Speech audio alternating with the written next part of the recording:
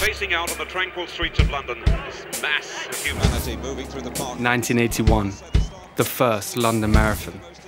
On that day, only 7,000 people ran. Fast forward to 2023, and there'll be 50,000 more. Just like Me. We're all following legends of our time. The 1 million strong before us that have crossed the iconic line. Over a billion pounds raised. Life changing memories made. Early mornings, Late nights. Months of training.